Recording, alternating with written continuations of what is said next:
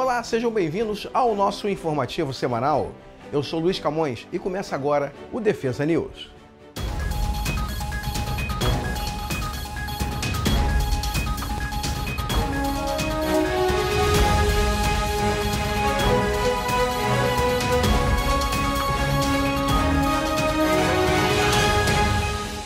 Agora sim começa o nosso Defesa News, um informativo semanal toda segunda-feira às 18 horas aqui no canal Defesa News. Desta vez temos uma novidade para você, com a voz de Leonardo Vitti, dando as notícias da semana. A Associação Brasileira das Indústrias de Materiais de Defesa e Segurança lançou uma nota de repúdio à matéria publicada pela revista Veja com o título Indústria Bélica faz lobby pesado no Exército e ganha série de benefícios. A ABIND ressaltou em sua nota que o setor estratégico é um dos pilares da soberania nacional. Veja a nota completa em defesainfoco.com.br.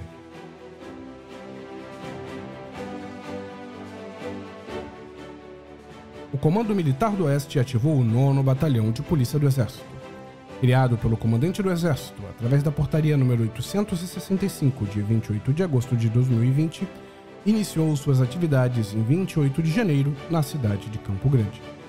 Conheça a história desta nova unidade acessando o link na descrição ou visitando agora mesmo defesainfoco.com.br.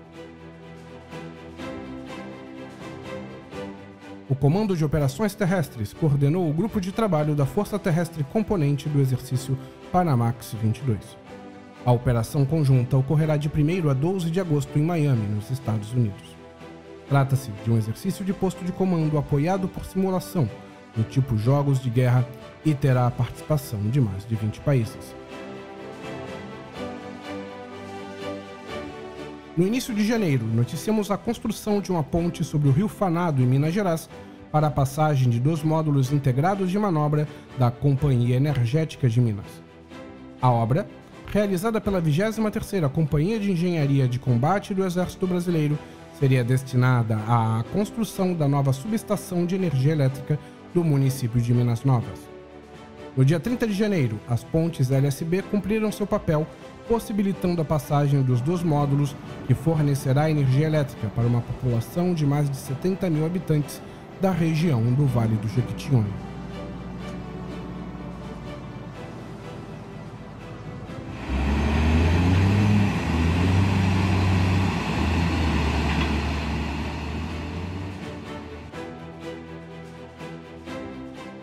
Militares especialistas do 4 Batalhão de Engenharia de Construção realizaram o reconhecimento de um trecho da BR-330 próximo à cidade de Ubatã, no sul da Bahia, para o lançamento de uma ponte emergencial. A missão é decorrente da solicitação do Departamento Nacional de Infraestrutura de Transportes, o DENIT. Em 28 de janeiro, o projeto Museu Marítimo do Brasil celebrou a assinatura do contrato que dá início à fase 2 desta iniciativa que entregará ao país seu primeiro museu marítimo. O documento prevê a elaboração de um projeto executivo de arquitetura e de projetos técnicos complementares para a construção do futuro Museu Marítimo do Brasil, que, segundo o mesmo, visa integrar e pensar o mar e a cidade sob óticas culturais e multidisciplinares. Veja a matéria completa em defesainfoco.com.br. Logística do Exército reforça a prontidão operacional no norte do estado do Amazonas. O 2 Batalhão Logístico de Selva coordenou o desembarque e a distribuição dos materiais no porto de Camanaus, em São Gabriel da Rocha, no estado do Amazonas. O êxito das atividades logísticas de transporte, suprimento e manutenção possibilitaram às tropas que continuem atuando na fronteira e com a possibilidade de aumento na disponibilidade de material de emprego militar reforçando a prontidão operacional na região que é conhecida como Cabeça do Cachorro. O Centro de Desenvolvimento de Sistemas do Exército Brasileiro concluiu o processo de inclusão do morteiro de 81mm no Simulador de Apoio de Fogo, o CIMAF. A implementação, solicitada inicialmente pelo curso de infantaria da Academia Militar das Agulhas Negras, a AMAN, para a capacitação de seus cadetes será de grande importância também para o adestramento das peças de apoio de fogo das unidades de infantaria e cavalaria que ocorre no simulador de apoio de fogo do Centro de Adestramento Sul, em Santa Maria, no Rio Grande do Sul. A fábrica da Taurus, localizada em São Leopoldo, no Rio Grande do Sul, recebeu a visita do vice-presidente da República, o general de Exército Hamilton Mourão. A comitiva foi recebida pelo CEO global da Taurus, Salésio Nunes, e apresentou as instalações da unidade de fabricação da Taurus no Brasil, que, segundo a empresa, é uma das maiores e mais modernas do mundo. O vice-presidente visitou também o Centro Integrado de Tecnologia e Engenharia Brasil-Estados Unidos, onde foi apresentado aos protótipos dos produtos em desenvolvimento. Veja a matéria completa em defesaemfoco.com.br.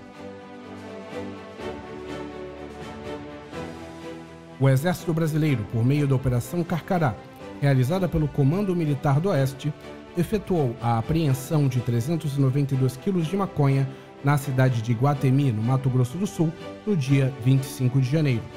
Os entorpecentes foram encontrados em um veículo abandonado e a carga é avaliada em cerca de 585 mil reais. A operação, segundo o Exército, tem como objetivo combater e reprimir crimes na região de fronteira.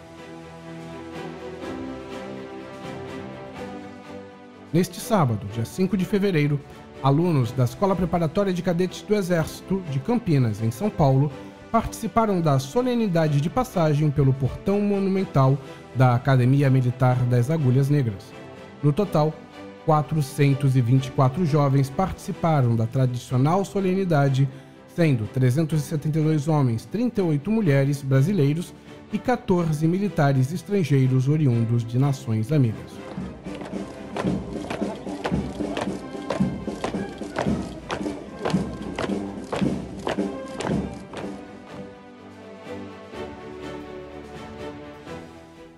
Ah, gostaria de deixar um recado para você que completa 18 anos neste ano de 2022. O alistamento militar é obrigatório. Então pegue o papel e a caneta, vamos conferir esse vídeo com todas as dicas para você não perder o seu ano. Todo ano, aproximadamente 1 milhão e meio de jovens que completam 18 anos devem realizar o alistamento militar obrigatório. Deste montante, as Forças Armadas incorporam em torno de 80 mil jovens. Se você parar para pensar, apenas 5% irão servir. Isso significa que, na verdade, há mais conscritos do que vagas. Estatisticamente, desse universo, infelizmente muito poucos poderão incorporar. Porém, independentemente disso, todo jovem brasileiro no ano que completar 18 anos precisa se alistar. No artigo 143 da Constituição Federal de 88, diz que o serviço militar é obrigatório nos termos da lei.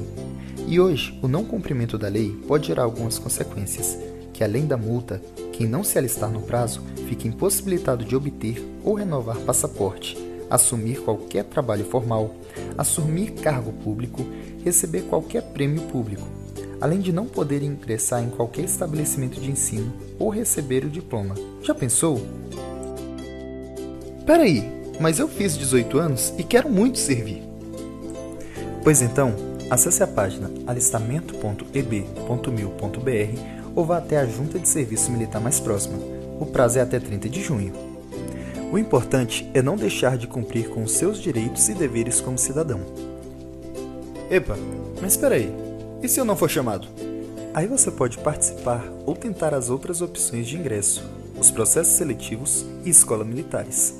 Você é sempre bem-vindo a fazer parte das forças que defendem a sua nação. Ah, bem simples, né? Então não vamos dar mole. Vamos lá, ó. Tá bem aqui, ó. alistamento.tb.mil.br. Não vamos perder o ano, hein? Vamos conferir agora a nossa agenda de eventos.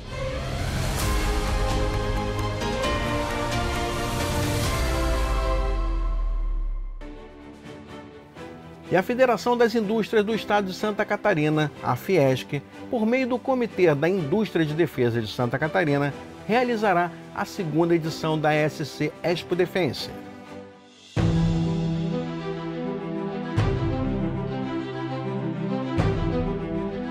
Inovação e tecnologia de ponta que vai surpreender você. Um evento único, onde o seu produto e a sua marca terão destaque nacional e internacional. Oportunidade para conhecer ainda mais sobre as demandas do mercado e os seus desafios, além de acessar o que há de mais moderno na área da defesa. Não perca essa oportunidade e participe da segunda edição da SC Expo Defense, que será realizada nos dias 19 e 20 de maio de 2022 na Base Aérea de Florianópolis. Santa Catarina te espera para a Feira de Tecnologias e Produtos de Defesa. Não esqueça, SC Defense Feira de Tecnologias e Produtos de Defesa será realizada nos dias 19 e 20 de maio, na Base Aérea de Florianópolis, em Santa Catarina. O maior evento sobre segurança pública da América Latina está de volta para sua edição 2022. Durante os dias 22, 23 e 24 de março, Florianópolis se tornará o epicentro nacional do conhecimento bélico e tático, com a presença confirmada de grandes nomes mundiais do tema. Para maiores informações, acesse o site copinternacional.com. E a Aeronáutica está disponibilizando 764 vagas com inscrições para este mês de janeiro. O processo seletivo para convocação e incorporação de profissionais é de nível médio, com vistas à prestação do serviço militar voluntário. Acesse agora mesmo defesanews.com www.marinha.com.br e saiba mais sobre como realizar as inscrições. E a Marinha do Brasil iniciou nesta segunda-feira, 17 de janeiro, as inscrições para o concurso da Escola Naval. Foram disponibilizadas 20 vagas de ensino médio, sendo 12 para mulheres e 8 para homens. E o período de inscrição, que começou nesta segunda-feira, terá seu término no dia 13 de fevereiro. Para maiores informações, Acesse defesanews.com.br. A Amazul promoverá concurso com 140 vagas de nível médio e superior. O edital está sendo elaborado pela banca organizadora, a Celecom, e será publicado em breve para início das inscrições. Fique de olho em nosso informativo aqui no YouTube ou em nosso site defesanews.com.br. E a Marinha do Brasil lança concurso para fuzileiros navais com 960 vagas. A Marinha divulgou um novo edital de concurso para admissão do Corpo de Fuzileiros Navais, que são 480 vagas para a primeira turma de 2023 e 480 para a segunda turma de 2023. As inscrições devem ser realizadas a partir do dia 14 de fevereiro até o dia 24 de março no site do Corpo de Fuzileiros Navais há uma taxa de inscrição de 40 reais, mas os candidatos inscritos no cadastro único e doadores de medula óssea poderão solicitar isenção do valor.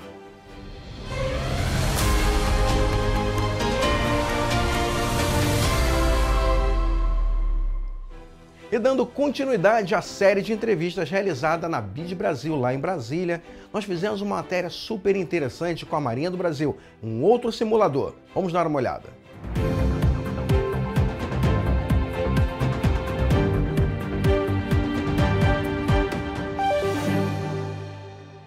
Da Marinha do Brasil presente aqui na sexta mostra BID Brasil.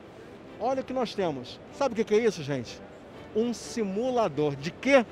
Vou fazer o seguinte. Comandante Vieira, ele vai apresentar que tipo de simulador eu estou falando, como funciona, como foi desenvolvido.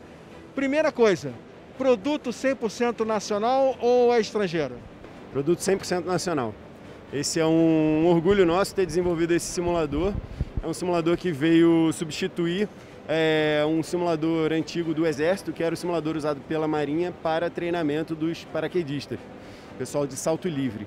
Mais uma vez, a Marinha investiu no setor de ciência e tecnologia da própria Marinha e optou em desenvolver o simulador ao invés de adquirir um. Hoje nós temos um simulador inteiramente funcional, sendo usado no Batalhão de Operações Especiais para treinamento de todos os militares operações especiais da Marinha é, fuzileiros navais. Em breve também os mergulhadores de combate contarão com um simulador desse para treinamento dos seus operações especiais CrewMac. Esse é um simulador de realidade virtual.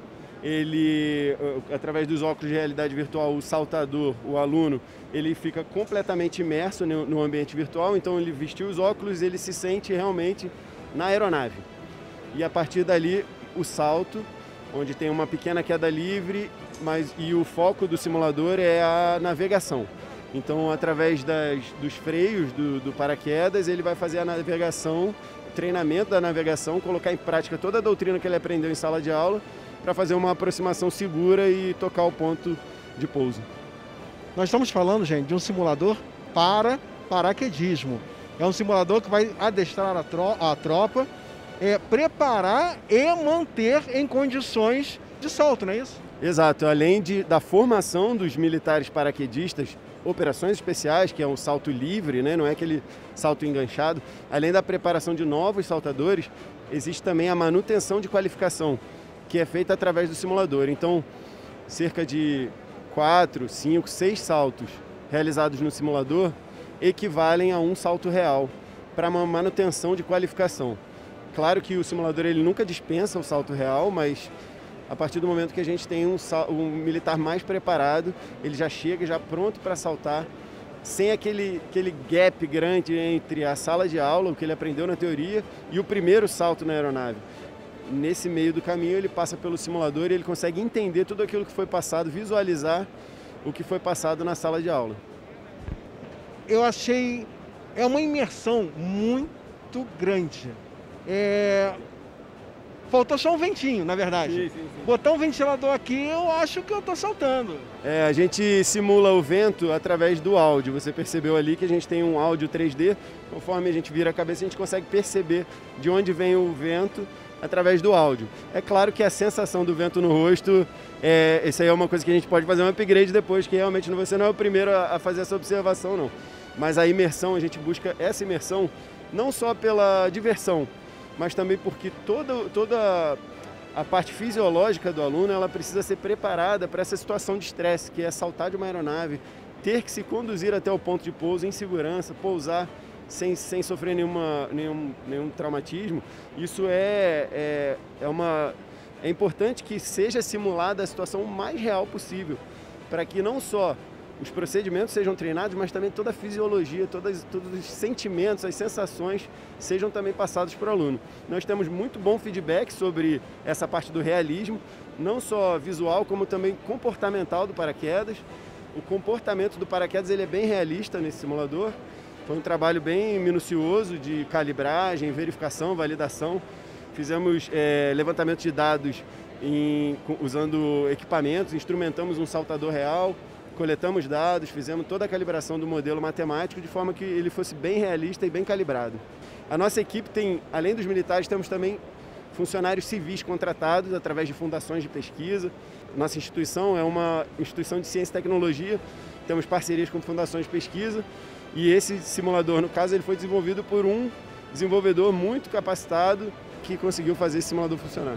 Então entra aquela velha condição que as pessoas imaginam que é criado pelas Forças Armadas vai ser exclusivamente das Forças Armadas. Pelo contrário, porque nós temos vários tipos de simuladores e até mesmo condições utilizadas no passado que hoje em dia a, todos os civis utilizam. Né? E aqui nós temos uma comprovação, um simulador de paraquedismo que poderá ser utilizado pelas escolas de paraquedismo. Exato, é um simulador que tem uma aplicação claramente dual, que pode ser utilizado tanto pela pelos militares como pelas escolas de, de paraquedismo civis. É, é, muito notório isso, que diversas tecnologias surgiram através da necessidade do homem para a guerra e isso extrapola e acaba atingindo todos os setores da sociedade. É bem comum isso. E no caso nós priorizamos esse tipo de projeto. Projetos que vão ter não só aplicação para a nossa realidade militar, mas que possam sim extrapolar e, ser, e atingir outros, outras esferas da sociedade, retornando assim o investimento que foi feito na, na Marinha do Brasil e no nosso, na nossa equipe. Vou lhe fazer uma pergunta. O site, as pessoas querem saber um pouquinho mais. www.marinha.mil.br No caso do Casnave, que é a nossa instituição, barra Casnave. Lá você vai encontrar todos os, os passos, todo, todo o trabalho do Casnave. Uma das abas lá é modelagem e simulação. Lá você encontra todos os nossos produtos, todos os nossos simuladores, não só o simulador de passadiço, como o simulador de paraquedas, diversos outros simuladores desenvolvidos por nós estão lá na, no nosso site. Bom, quero agradecer não só ao comandante Vieira e também a própria Marinha do Brasil pela autorização de fazer uma excelente matéria, mostrar a tecnologia aí em prol de toda a sociedade. Porque não é só para a Marinha. Isso aqui com certeza será utilizado para a sociedade civil futuramente. Muito obrigado pela oportunidade. Nós que agradecemos aí o interesse seu e transbordando isso para todos os outros seus, a sua audiência que é muito grande. Muito obrigado. Marinha do Brasil, vamos lá www.marinha.mil.br.